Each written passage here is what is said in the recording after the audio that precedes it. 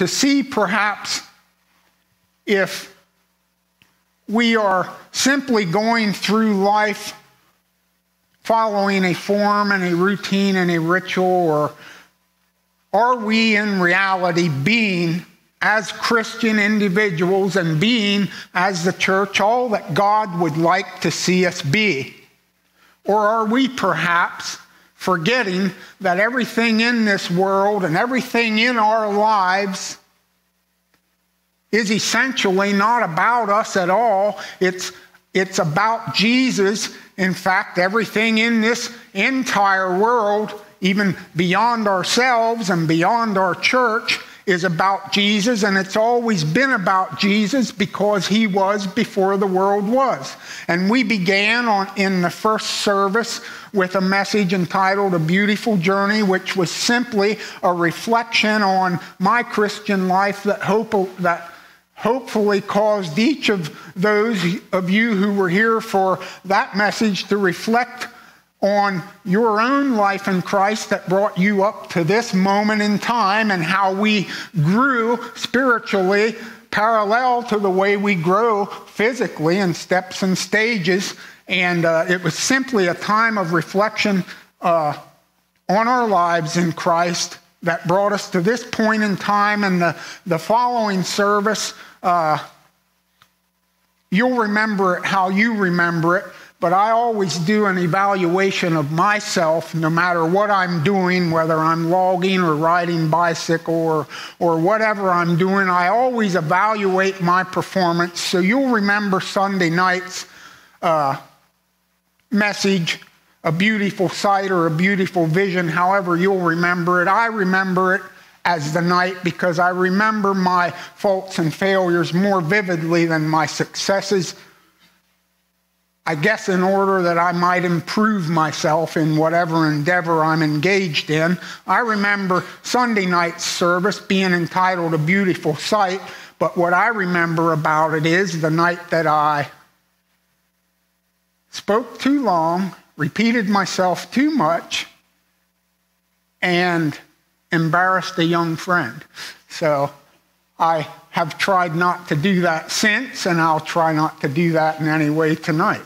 Uh, but anyhow, the second service, a beautiful sight, was, call, was to cause us to evaluate ourselves if our sight is beautiful. Our sight should be, and our goal should be, and our passion should be, and our desire should be, and our frequent prayer should be that God, that our Lord would cause us to see the world and humanity around us through the eyes of Jesus. This was something that became a prayer of my own and a, and a pure and true desire of my heart, and God was kind enough to answer that prayer for me. And I can tell you that it has been more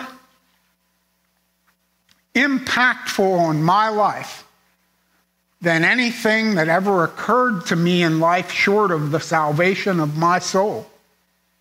And uh, last night's title was Beautiful Worship. And our worship has gotten more beautiful each service, and it was beautiful to begin with. I mean, it has just been positively amazing, and I kind of beat it into the ground, and everybody really took it to heart. And I mean, our worship just got more beautiful every night, and it was beautiful to begin with. And, and you'll see that exemplified so much as, as uh, we sing our recurring anthem for these services at the end of the service because you know, it's just a little too much for me. I, you know, I just, I just leave all, I, I leave all go of myself, and I just, and I just praise and worship my Lord. And I used the example last night in the in the message of beautiful worship of an ancient church service from so long ago, uh, recorded in Nehemiah, how the people praised the Lord instantly as the book was opened, as the Bible, as the word was opened. They instantly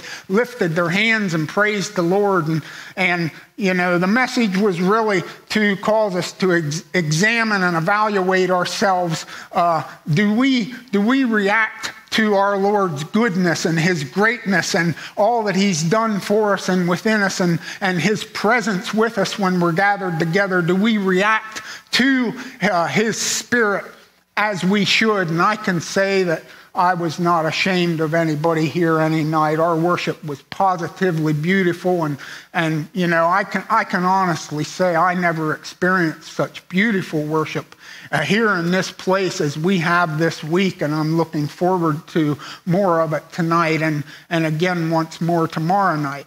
And tonight's message is entitled A Beautiful Heart. Each message is titled Beautiful. I didn't name them, the Lord did.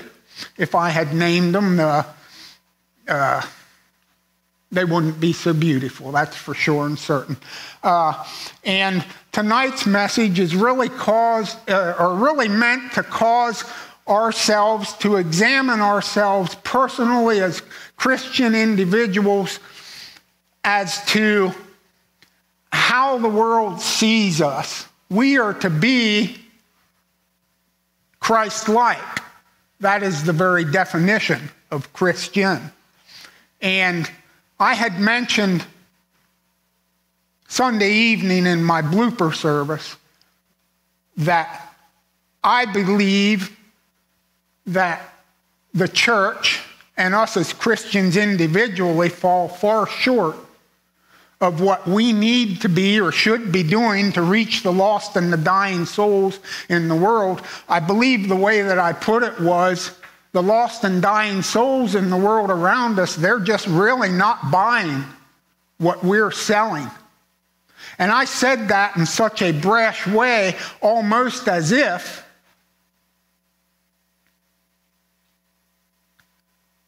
that was everybody else's problem and not mine as I've been imitating,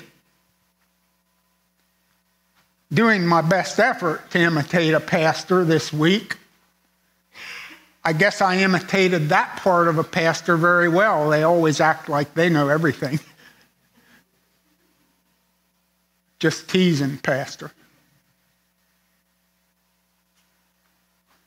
But in fact, it's something that I struggle with myself.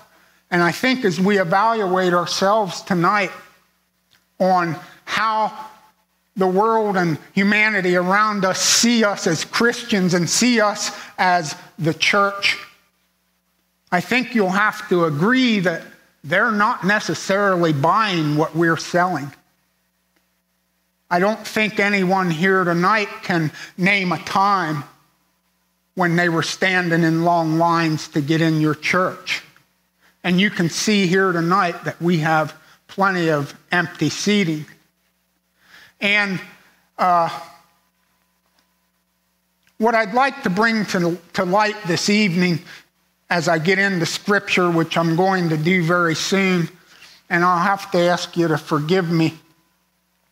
Everything was relatively clear to me this morning about tonight's message, but uh, certain people in this in the congregation here tonight find this quite comical, but I am suffering from being awake past 8:30 at night too many nights in a row. And you know, I just, you know, everything works good when I don't get my sleep. I can log hard all day and the kids can't keep up. I can ride my bicycle and, and uh, you better be in fine condition to keep after me, but my mind just does not work well if I'm up past 8:30 and especially if I'm up past 8:30 too many nights. So as as comical as I'm being and as humorous as this is to certain people, I am being serious. Please forgive me. My mind is totally in a fog all day. The, the things that I wanted to share with you tonight, they were so clear to me this morning. And when I came home from the woods and I looked at my notes, I'm like, what am I supposed to do with this? You know, just nothing really comes together and makes sense. But that's what this whole entire week has been about. It's not about me. It's not about you. It's not about any of us. If I accomplish anything, or have or will tonight. It's, it's only because of him. It's all about Jesus. It's not about me. I have, I have done other firsts this week. I have, uh, I have shared two messages in succession with little, very little notes. And in fact, last night paid no attention to my notes at all. That's a first for me, and certainly evidence that it's all about Jesus. It's not about me. He can accomplish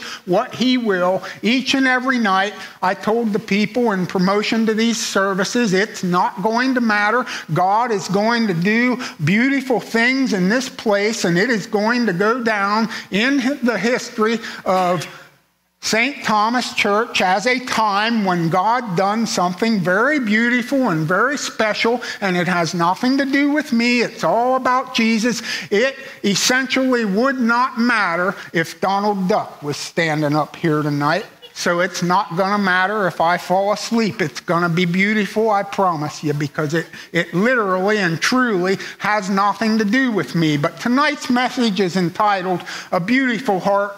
And if you'll stand for the, in honor of the reading of God's Word and finding your Bibles, the Gospel of John, chapter 4, I'm going to be speaking tonight from a very well known story that you're all very familiar with uh, where Jesus interacted with the woman at the well.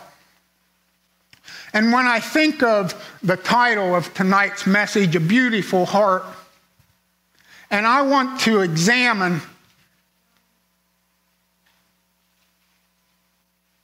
a person who had a beautiful heart, I certainly want to examine the life of Jesus Christ, my Lord because never was there a heart more beautiful. And that's what we are going to do tonight. And we're just simply going to examine because what's so puzzling to me is that we are supposed to be Christ like.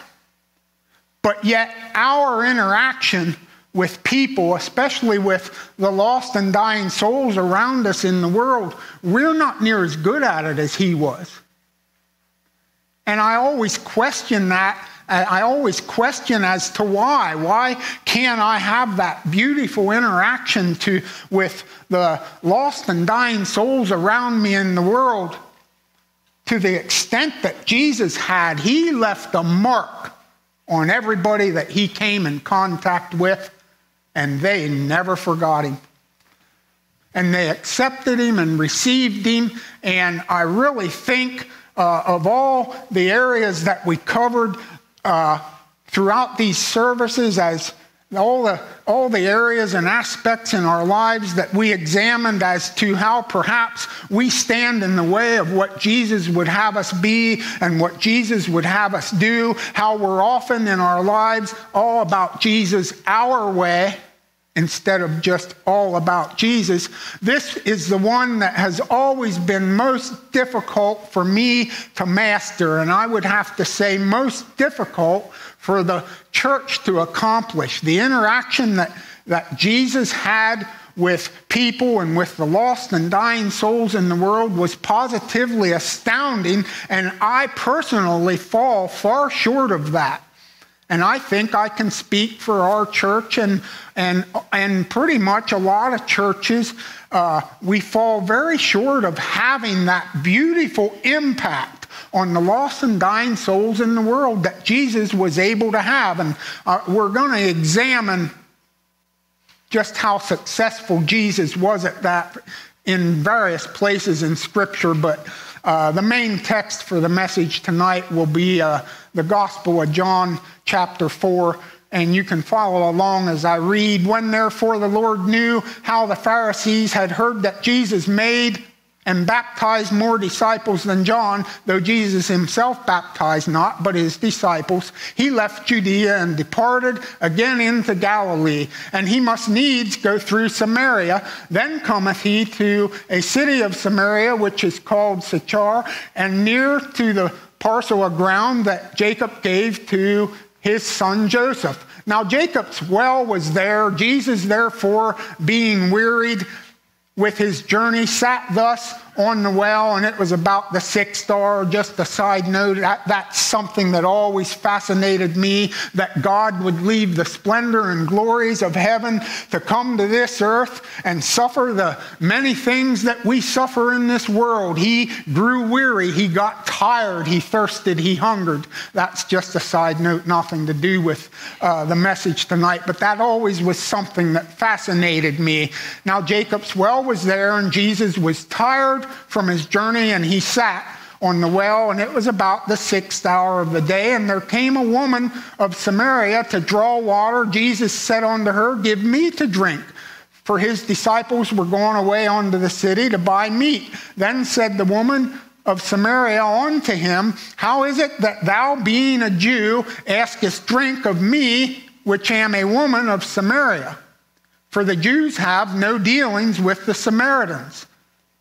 Jesus answered and said unto her, If thou knewest the gift of God, and who it is that saith to thee, Give me drink, thou wouldst have asked of him, and he would have given thee living water. The woman said unto him, Sir, thou hast nothing to draw with, and the well is deep. From whence then hast thou that living water? Art thou greater than our father Jacob, which gave us the well and drink thereof himself, and his children, and his cattle?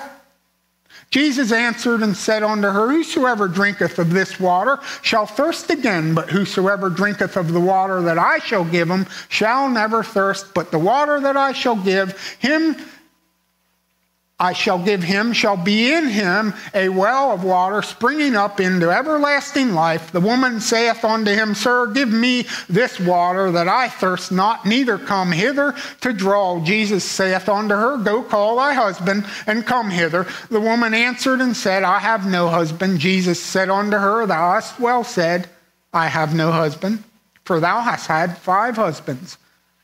And he whom thou now hast is not thy husband. In that saidst thou truly.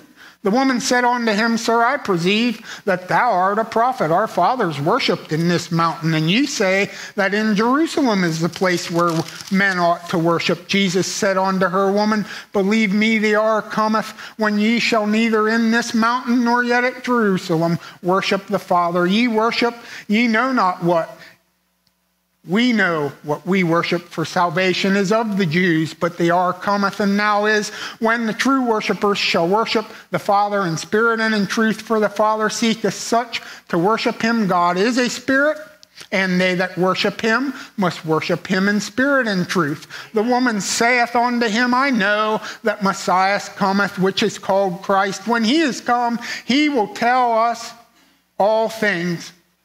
Jesus saith unto her, I that speak unto thee am he. And upon this came his disciples, and they marveled that he talked with this woman. Yet no man said, What seekest thou, or why talkest thou with her? The woman then left her water pot and went her way into the city and said to the men, Come and see a man which told me all things that ever I did is not this the Christ. Kind, gracious, loving Heavenly Father, more even than the other nights, I need your help, dear Lord. I can accomplish nothing with everlasting meaning of myself, that's for sure and certain. I need the blessing of your Holy Spirit's anointing, dear Lord. Just pour it out upon me tonight, Heavenly Father, that I might raise to light and bring to our attention and our examination the things that, that you would have for us to evaluate in our lives tonight that we might uh, be a people that is better able to serve thee. And I thank you for these that you've given me this time to share together with tonight, dear Lord. They're precious to me,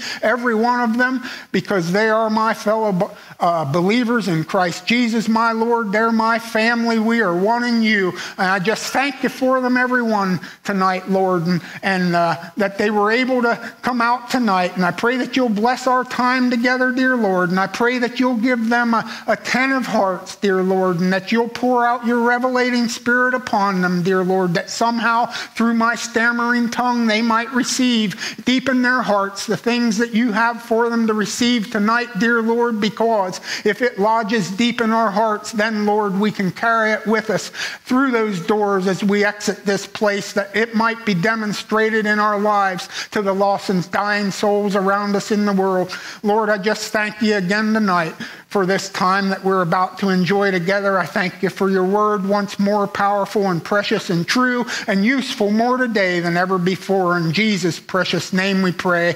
Amen. You may be seated. Gather my thoughts a moment from my tired mind. It's always fascinated me the effect that Jesus had on everybody that he came in contact with. And not only is that fascinating in and of itself, what heightens my fascination about that reality is he lives in us.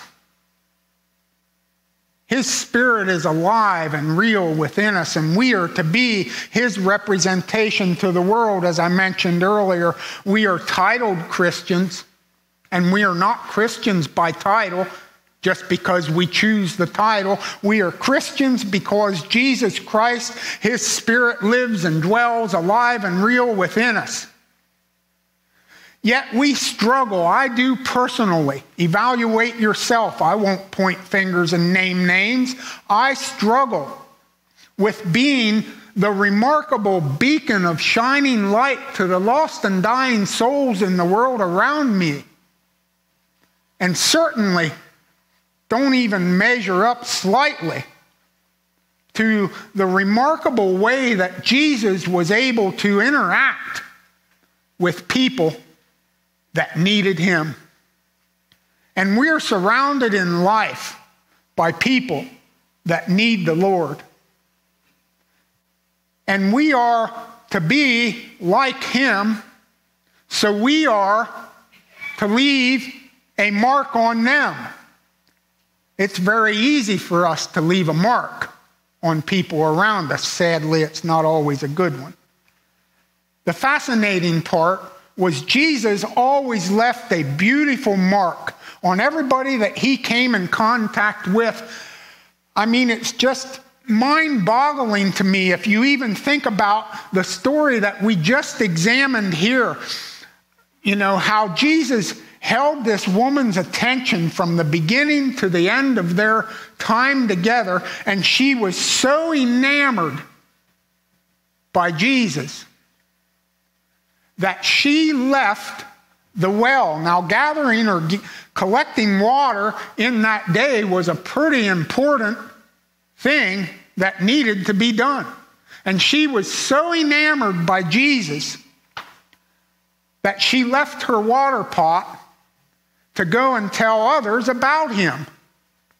And it's just always fascinated me the interaction that Jesus had with people and how I fall so far short of that beautiful and lasting impression that he left on people that needed him.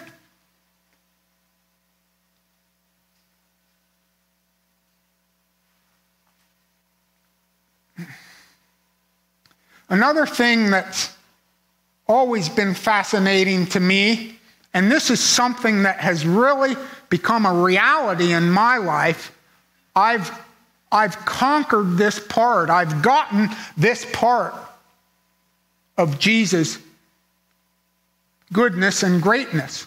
As I told everybody here in the first service that I truly and honestly, about a year year and a half ago, I made it my passion and my desire and my frequent prayer that the Lord would help me see humanity and the world around me through His eyes. And He has blessed me with answer to that prayer. And I mean, it has been a, a stark contrast as to how I see humanity and the world around me through Christ's eyes as compared to how I seen it all of my life through Pete's eyes. And, you know, I just can't, I, I you know, I don't want to uh, be repetitive and I don't want to get too long and I don't want to cover material that I've already covered, but not all of you were here. I mean, I just, I couldn't, I couldn't have enough time to express to you the stark contrast between seeing the world and humanity around you through Christ's eyes compared to how I seen it. And this is the part of, of Jesus' interaction with, with people that used to be so fascinating to me, but I really get it now. And I, I would like to get the rest of it where, where people are just drawn to me and people are just drawn to us because Christ lives within us. People are drawn to us because uh, uh, they're not beating the doors down to get in our church. So when we're out there in the world, we're, we're, we're as close to Jesus as they're going to get. They're not coming in here uh, to get him. And that is a, an issue that the church certainly needs to address as well. But I'm speaking about us individually.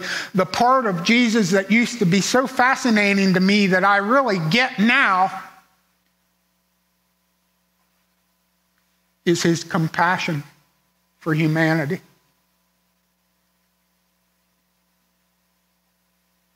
If I go back, you don't need to go with me to Matthew chapter 9 and read for you verses 35 through 38. And Jesus went about all the cities and villages, teaching in their synagogues and preaching the gospel of the kingdom and healing every sickness and every disease among the people. But when he saw the multitudes, he was moved with compassion on them because they fainted and were scattered abroad as sheep having no shepherd. Then saith he unto his disciples, The harvest truly is plenteous but the laborers are few. Pray ye therefore the Lord of the harvest that he will send forth laborers into his harvest. This is something that has become a stark reality to me and a real burden on my heart. I used to be able to be out in the world and be literally calloused to the lost and dying souls around me. And that's something we certainly all need to address in our lives if that's the case with you. You must evaluate yourself. I will not judge you. But I was that way. I was calloused to the lost and dying souls in the world around me. In fact, it was easier for me to be condemning and judgmental towards them in the sense that I would say to myself, they're going to be sorry for the, where they, the way that they're living. And I could say it in a calloused manner without any sadness. And I can't do it anymore. I just can't do it anymore. I understand Jesus' compassion. And I see a, a, a, world of lost and dying souls around me, and I, I just want them to know Jesus. I understand the compassion of Christ, and that's a step in the right direction. And I'm glad that the Lord gave me that beautiful vision that I spoke of, that beautiful sight that I spoke of, that the Apostle Paul got in contrast to the man that was Saul of Tarsus. I'm glad that I got that part of it, but I have so much more work to do. How, how, how did Jesus accomplish what he accomplished with everybody that he encountered in life. They were so fascinated with him. They were enamored by him. The woman left her, her chore of gathering water to run and tell others about him, and all as he did was sit and spoke with them. What did he what did people see in Jesus that they need to see in us? Where are we falling short? Where are we failing? Why are people not enamored by us because Jesus is alive and real in us? Why are people not fascinated by us because when they see us, they see Jesus? And I'm not going to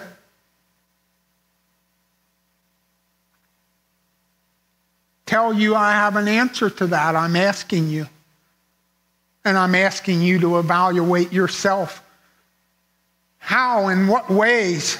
Say it along with me. I'll say it about myself. How, and what ways, Pete Carnahan, are you standing in the way of Jesus? and what He would like to do in you and with you and through you to reach the lost and dying souls in the world around you. I, I, I, have been given this compassion that Christ felt when he seen uh, the multitudes and he seen that they were as sheep without a shepherd. I, I, I really get that now, and I, I can't help but think uh, of the school board meetings at Selinsgrove where we discussed the transgender issues.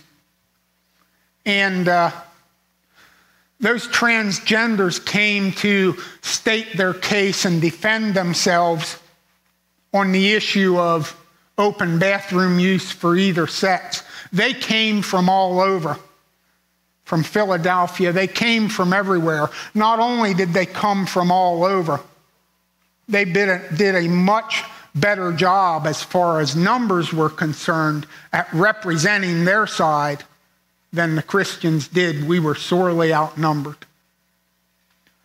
And I can't help but think in those meetings how well meaning Christians from churches all around our locality took that podium to state their case against this open use of bathrooms because of the transgenders that were uncertain of their identity or, or unsatisfied with their identity and wanted the, the privilege to use the bathroom of what of the sex that they identified with rather than the sex they were born.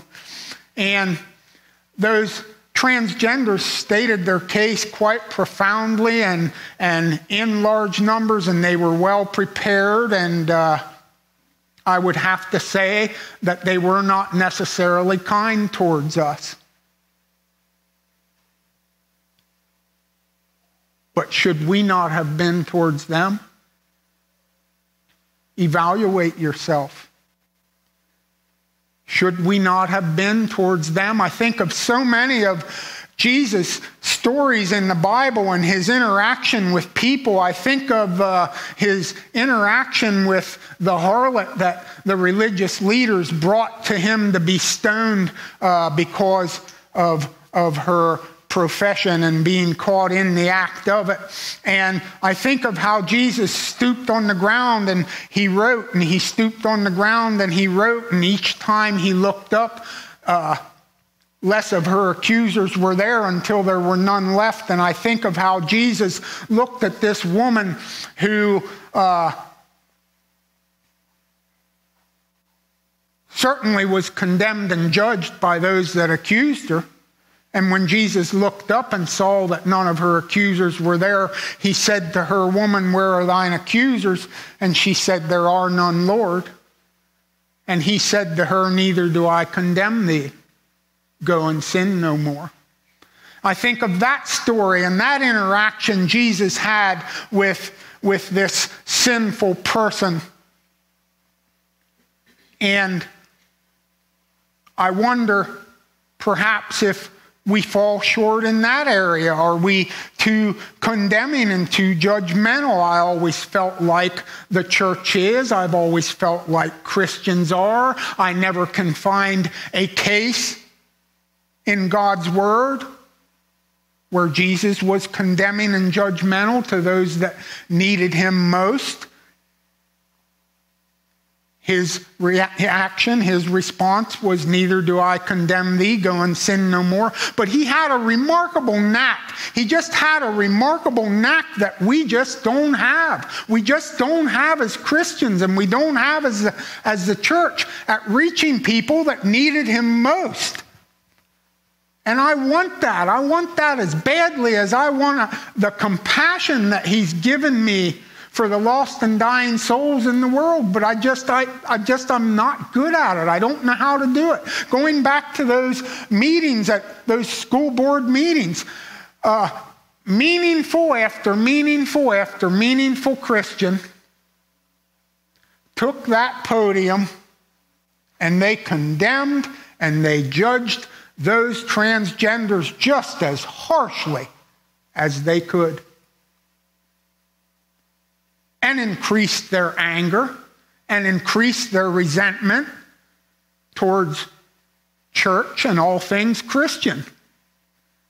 And I can't think of a case where Jesus did that. What Jesus did was simply this you can examine case after case after case. He was compassionate towards them, he met their needs in various ways. He met their needs physically, and he met their needs spiritually. And the thing that's so remarkable about how Jesus operated and how he interacted with people is that he often met their physical needs first. Before he ever began to address their spiritual needs. And I wonder if we fall short in that way. I wonder if we immediately jump on the you need Christ and you're a sinner and you're bound for hell. I wonder, you know, if we kind of jump on that a little too quick sometimes. If you look how Jesus often operated, he, he, he often did things differently than, than we tend to do and differently than the way we think. You know, he so often met physical needs first. Uh, the scripture that I meant to, to share that that expresses that is Matthew 14, verses 13 through 16. When Jesus heard of it, he departed thence by ship into a desert place apart. And when the people had heard thereof, they followed him on foot out of the cities. And Jesus went forth and saw a great multitude, and he was moved with compassion. And before he went about telling them that they're all sinners lost and bound for hell, before he got to addressing their spiritual need, he was moved with compassion toward them and he healed their sick. And when it was evening, his disciples came and said, This is a desert place in times past. We got to send these people away that they can go into the villages and buy victuals. And Jesus said unto them, No, no, no. Uh, they don't have to depart. I'm going to meet more of their physical needs. And then the story goes on, of course, of how he fed the 5,000. This was quite a multitude of people with five loaves of, of or fish, or a small amount of food. But anyhow, you know, uh, that's one thing that I've always noticed about Jesus' interaction with people. And I wonder if, if perhaps we do poorly at leaving a beautiful mark on people in that respect, you know. Uh, shouldn't we show concern for them and, and what they might need and what their needs are before we just start stomping the Bible and shoving it down their throat. That certainly worked for Jesus in many instances. And I heard, I heard a message that I can't help but think I heard just for this night, as I'm standing before you speaking now. I just heard it the beginning of this week. I believe it was uh, Andrew Wommack uh, was sharing the message. And uh, he told a story of how he was telling the story secondhand, another minister of the gospel, how he led someone to Christ in the exact kind of opposite way of we tend to think we have to do it. He knew of this couple that were living together in sin. They were not married, they were just living together. They were in his community and uh, they, were, they were believed to have drug issues and, and uh, they seemed to be poor folks. And this man just took it upon himself to knock on their door one day and ask them, these complete strangers, this man uh, just took it upon himself to uh, whether he was doing it experimentally or, or what prompted him to do this, he just asked this strange couple if they had any needs that he could help them with. And a gentleman that looked quite rough and had answered the door said, Yeah, I don't have a job. I could use some food, and I'm all messed up on drugs. I could use some more, some more of them. And, and, you know, he just went, you know, he was kind of being a smart aleck, like he didn't believe this man was really interested in his needs. But he found out very directly that this man was quite interested in his needs, and this man got him food, and this man spent time with him, and this man asked him if there was any, any needs that he could that he could pray for him about. And this had a, a phenomenal and remarkable and beautiful and enamoring impact on these people that needed Christ so bad. And this man continued to have a relationship with them. He established a relationship with them. And he returned to their home again and again. And he brought them food and he helped them with needs. And, and he, he, he had prayer with them. And these people just took it all in. They soaked it up like a sponge, like the woman at the well. She was just enamored by Jesus.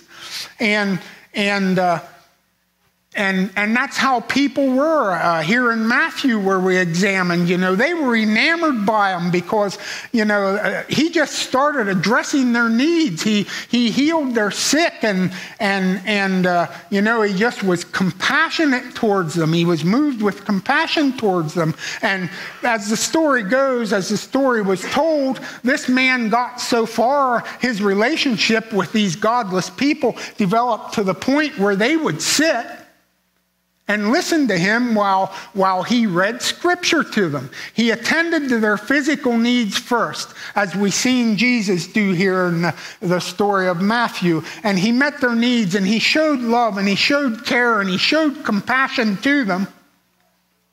And they became open to prayer and they became open to the gospel. And time went on to where these people who knew nothing of, of the word, who knew nothing about Jesus or knew nothing about religion or cared, they became enamored with this man because of his love and care and compassion towards them. And he would actually have Bible study with these people that knew nothing of God's word and they were just riveted to every word that he said. And one particular day, he was reading the story about the prodigal son. And at the end of that, uh, getting close to the end of the story, he asked this man, this non believer, this man that needed uh, Christ in his life, he said to him, What do you think the father done when that son returned home? And the man, of course, said, Obviously, he didn't treat him very well. He sent him down the road for sure and certain because he took his, his wealth that his father had, had given him, his inheritance, and he squandered it and he did this and that. And the man just went on and on how this father surely just raked that son over the coal and sent him down the road with his tail between his legs. And then the man went on to explain how he took him in and he put on his finest coat on that son, and he wrapped his arms around him, and he loved him. And he took him back into his home, not as a servant, but his, as his beloved son again. And then he said to this gentleman that needed Christ so badly in his life, that story, the father is to represent God, and the son is to represent those that need him. And that man jumped to his feet and he said, do you mean to tell me that God would treat me in that same fashion in spite of the way that I have lived all of my life? And he said, Yes, he most certainly would. And the man fell to his knees and he accepted the Lord and his girlfriend with him. And it didn't take long until he realized that we are living in sin. And, and he, he married that girl that was his girlfriend. And you know how a lot of these stories go. They're in the ministry today and they're reaching people for Christ. And I'm quite certain that they're not stomping the Bible and shoving it down people's throats first. I'm quite certain that they're reaching out to people with love and compassion and, and being concerned about their needs and helping them meet their needs first and then second. It's always fascinated me how, Seconds always follow first.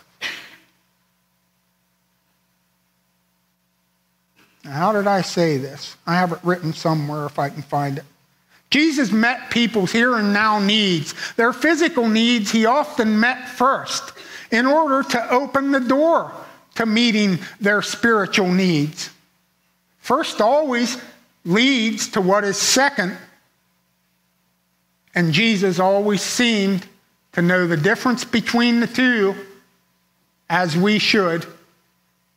And Jesus left the beautiful and he left a lasting and he left a memorable mark on everyone he came in contact with, except those who were most religious. His only harsh words, as it's recorded for us, were for those most religious. The scribes and the Pharisees, he had harsh words for them, but he never did for those that needed him. And going back to the school board meeting, uh, I heard some good and powerful sermons from that podium. And I had no argument with any of them. But as that was what was needed at that time and in that place. And is that perhaps one of the reasons that we're not successful at reaching the lost and dying souls around us? Do we get it backwards sometime? I can tell you this because God blessed me with that vision of seeing the world and humanity through Christ's eyes. I can tell you this, and I say it with shame. In my Christian brethren, I don't say it with pride, and I don't say it to boast. I say it with sadness and shame because I fall short. And we all fall short. Examine yourselves, Christian individuals. Examine yourself, church. We fall short at reaching the lost and dying souls around us. We just have trouble getting it right. Jesus didn't. They were all enamored by him, and he reached them spiritually. And if he ever failed to, it's not recorded for us. He reached them. And we fall short. And getting back to that meeting, I don't say this boastfully. I say it with sadness and I say it with shame. That auditorium was full.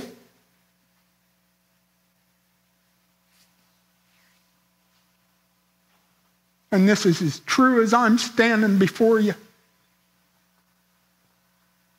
I'm the only person in that place that showed them transgender people love and kindness because I had a compassion for them. I just, as much as I despised their sin, I despised it as powerfully as I despised my own. I just wanted to wrap my arms around every one of them and just tell them about Jesus. But there is where it stops. I have the compassion, but I fell short there. I showed them love. I showed them kindness. I opened doors for them. I spoke to them politely while they were blatantly ignored by every other person in that auditorium. But that's as far as I got. That's as close as I get. What was it about Jesus that enabled him to reach others for Christ that we're not getting? What was it about Jesus that I'm not getting? I'm not standing up here tonight imitating a preacher that knows it all and can tell you I don't know. I just don't know. All I know is I want to reach them. I have a compassion for the lost and dying souls in the world around me that won't go away because God answered a prayer that enabled me to see the world and humanity around me the way that Jesus seen it. That's what Jesus seen. He seen them as sheep without a shepherd. He seen them as, as people that he just wanted to love. He just wanted to wrap his arms around them and he just wanted to make them know him. And we should be doing that. And I can't stand here and tell you how. And I can't stand here and tell you why we're not successful at it like Jesus is when we are his representatives. We are to be Christ like. I understand that we can't be Jesus. I understand that the Christian, the definition of Christian is to be Christ like. And I'm not condemning anybody in this place or the church that I love so dearly. I understand that we're not Jesus, but we're not doing all that we could or should to be Christ like, to reach the lost and dying souls around us. And, you know, I don't even know uh, how to end this all up. The title of the message was A Beautiful Heart. You know, we began with, uh, with a beautiful journey and a beautiful sight and, and, and, uh, beautiful worship, and you know, we, we, we get it all. We kind of absorbed it all. We kind of all were able to say, Yeah, you're, you know, that's true about me. That's true about me. I get in Jesus' way in, in, in these in these ish, in these things that we examined in the previous messages but here tonight i just don't know. I just this is something i could never get a handle on and something that we really fall short in and something that we certainly need to pray about. You know i mean maybe we can never get to a place where the lost and dying souls in the world are beating on our doors to get in and fill these pews. Maybe we can never get there. I don't know. But i do know this even with a burning compassion for the lost and dying souls in the world around me, the best I could do is show love and kindness. And my colleagues were unable to even do that. So I would have to say, I fall short. And I would have to say, we fall short. And I would have to say, examine yourself with me as I examine myself. And let this be something that we're praying about. And let this be something that we're addressing in our personal lives and in our church.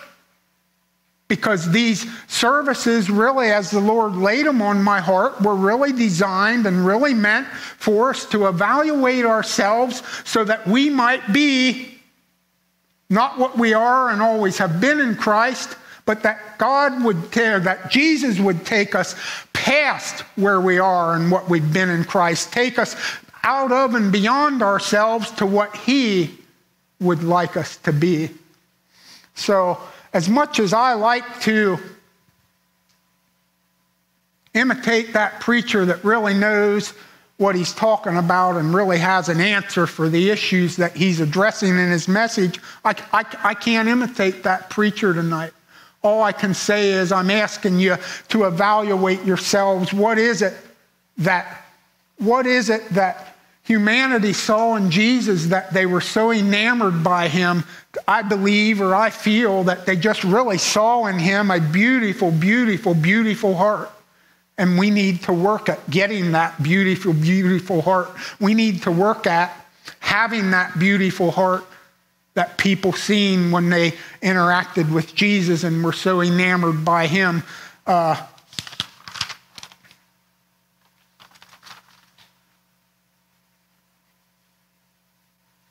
I have to be careful. Tomorrow's night's message takes us beyond this point. It's similar to tonight's, but even so much better. I mean, you know, to me, as I evaluate my performance as imitating a pastor this week, to me, I'm already feeling like this was the blooper night that out bloopered Sunday night. But, you know, that's just me. I never feel like I do anything well. And, you know, and I'm, I'm not sure that I'm ending this up the way that I meant for it to end. And, you know, my mind's been foggy and scattered. You know, the 8.30, it's bedtime thing. I got five minutes. Uh, you know, I, I hope you all got something from what I shared with you tonight. I certainly don't feel like... Uh, I measured up to the task. I hope the Lord was able to bring you something through my stumbling and stammering way. Uh, I will do this. I, I have, uh, we in fact began this service in a very unusual way. We began our revival services in uh, repentance, somewhere I had heard in a message right before these services started. Such a beautiful sermon on how revival begins with repentance. And since everything about this revival service was going to be unusual, from the beauty of it, from the Lord using a dummy like me to imitate a pastor, and you know, everything about it was unusual, I went ahead and made that unusual as well. We began our altar, our revival services with an altar call. And uh, and you know people responded and and it just was oh, it just was beautiful you know people responded to yeah yeah me too i've i've done I, I have not done all that I should have so that the Lord and so that my pastor could accomplish great things in me. I have stood in the way. And that was the, the sense of that altar service. And I'm, I'm not necessarily going to have an altar service tonight. And I even feel kind of awkward about it in any sense, as I am not an ordained minister. But I'm going to ask you tonight to truly evaluate your lives personally and evaluate uh, the church that you attend and belong to and evaluate the church as a whole worldwide. Uh, why do we fall so short? At reaching the lost and dying souls around us. Why can't we have that beautiful interaction like Jesus had with those that need him?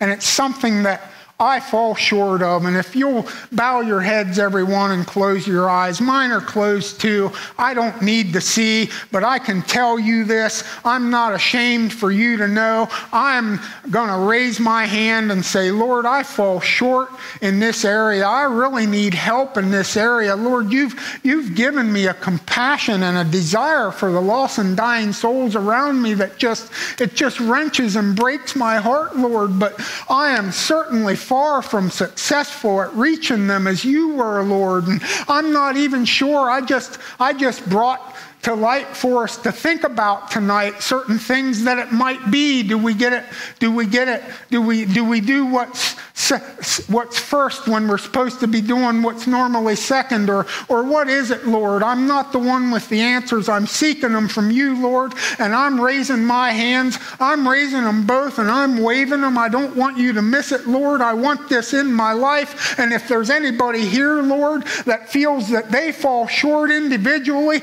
in, in being that enamored, enamoring person that we need to be, that you were, Jesus, to those that you encounter encountered in life and, and needed you in their life, Lord, I fall way short of that. And if there's anybody else here that can say that about themselves, I want your help, Lord. If anyone else can say it, get your hands in the air. I'm not looking, every eye's closed, but the Lord sees. I, I this is an area that, that ha, uh, we definitely uh, get in the way of Jesus in our lives. And this is an area that we definitely get in the way of Jesus in our church. They're not beating down our doors and we're not winning souls to Christ even when we have a true and honest and sincere compassion for them as I had at that meeting for those transgender persons there's just no way for me to, to describe to you how bad how bad I wanted them to know Jesus and how horrible I felt for them to be so messed up and so disturbed in life and not know somebody that could make it all so beautiful. And I didn't know how to reach them I didn't know how to be that person that Jesus is that leaves a lasting and a beautiful mark on them, that they leave what they're doing, whatever they're doing, and they go and tell everybody about this man that told me everything I ever did. I just want to know how, Lord, as a Christian, I can, I can be what you were as you interacted with people around you in the world that needed Christ in their heart and in their lives. I just want that, Lord, and I just feel that I fall way short of that, Lord. And I want you to look at the hands. I trust and, and hope that there's many of them raised, Lord, that we can accomplish that in our in our Christian individual lives, and we can accomplish that in our church, the individual churches that we go to and belong to, Lord, and that we can accomplish that as a church worldwide, Lord. Just help us, Heavenly Father. I don't have the answers, and somehow you couldn't give them to me to share. But I know that it's a problem we have, dear Lord. It's just another way that we're all about Jesus. We have a passion for the lost and dying souls, at least of us all on one level, maybe some greater than another, but we care about them, Lord, because we know of you and we know of your goodness and your greatness and your kindness and your love and your life real and alive in us. And we all have a passion on some level for the lost and dying souls around us in the world, but yet we fall short, Lord. Help us to reach them the way that you were so successful at reaching them, Lord. Whatever the key is, whatever the pattern is, Lord, we need your help individually and as the church. And, and I thank you, Lord, for each one that it was willing to admit tonight that this is a, a problem that they battle with as well, Lord. And I pray that you'll help us, Heavenly Father, not just to uh, not just to be words that we heard in a prayer that we said, Lord, but that you will truly help us to make this an issue that we address in our lives. And I thank you and praise you for it in Jesus' name. Amen.